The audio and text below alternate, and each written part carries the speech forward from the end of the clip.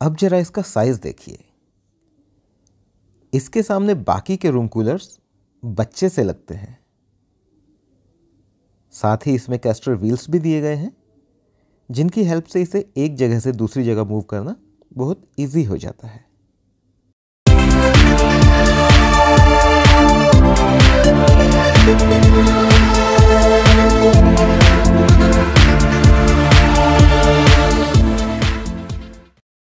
दोस्तों, आज हमारे पास है एक ऐसा रूम कूलर जिसे अगर आपने अपने कमरे में लगा लिया ना तो आपके कमरे का तापमान एकदम से ऊपर से नीचे आ जाएगा।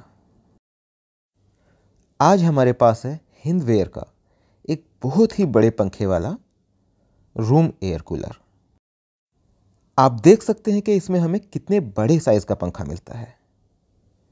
और इस बड़े पंखे के साथ साथ हमें मिल जाता है इसमें तीन साइड से एयर इनलेट। ये देखिए, बैक साइड पे कितना बड़ा एयर इनलेट मिलता है और साइड में भी पूरा एयर इनलेट है।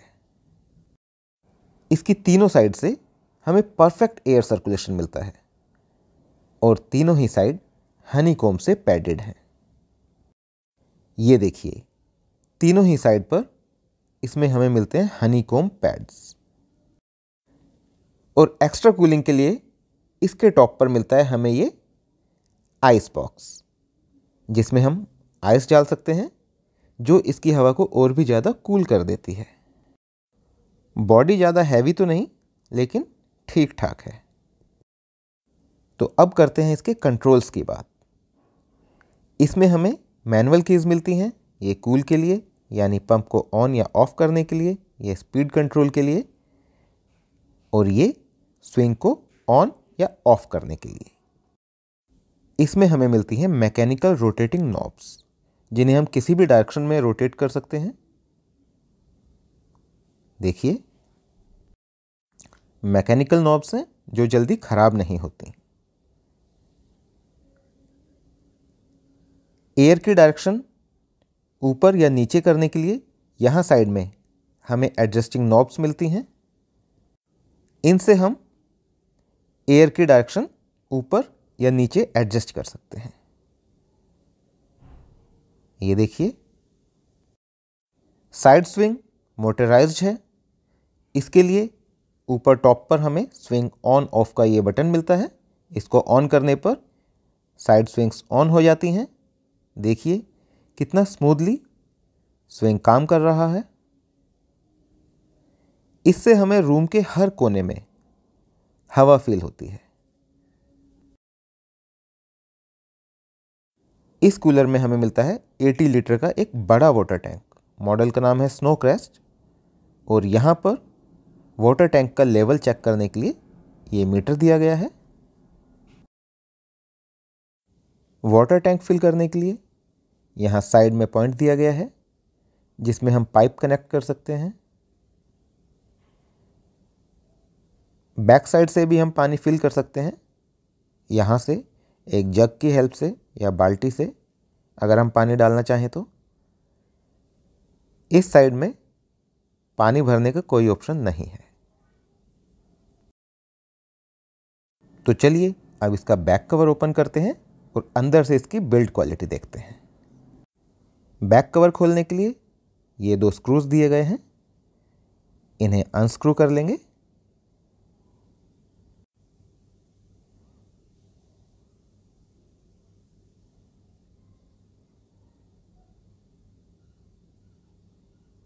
इसी तरह हम दूसरे पेज को भी खोल लेंगे। प्लास्टिक की बॉडी है तो पेज बड़ी आसानी से खुल जाते हैं।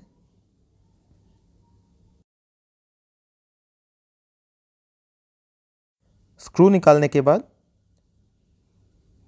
जाली को यहाँ से पकड़ेंगे और आराम से बाहर खींच लेंगे। ये बहुत आराम से निकल जाती है। ये देखिए।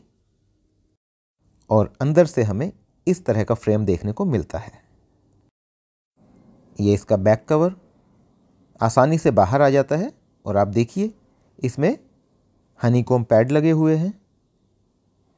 पूरा फ्रेम प्लास्टिक से बना हुआ है। इसी तरह कूलर के अंदर भी पूरा प्लास्टिक फ्रेम है।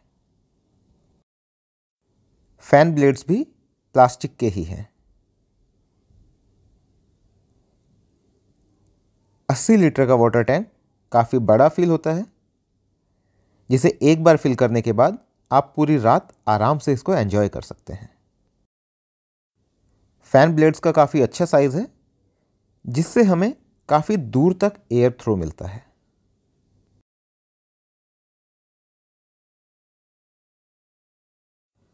पूरी तरह से प्लास्टिक की बॉडी होने की वजह से फ़ैन फुल स्पीड पर भी बहुत ही कम आवाज़ करता है। तो चलिए अब इसका पेपर टेस्ट लेते हैं। अभी कूलर ऑफ़ है। ये देखिए। और अब हम कूलर को करेंगे ऑन अब मैंने कूलर को ऑन कर दिया है और आप देख सकते हैं कि इसके हर पॉइंट पर हमें एयर फ्लो मिल रहा है। ये देखिए। हर पॉइंट पर पूरा एयर फ्लो है। अब हम पेपर को दूर लेकर चलते हैं। ये देखिए, इतनी दूर आने पर भी एयर फ्लो उतना ही है। छोटे रूम कूलर्स में उनके पास तो एयर फ्लो होता है, लेकिन दूर जाने पर ऐसा एयर फ्लो देखने को नहीं मिलता।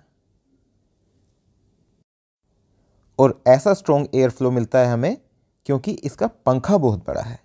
जितना बड़ा फ़ैन होगा, उतनी ही दूर तक एयर थ्रो हमें मिलेगा।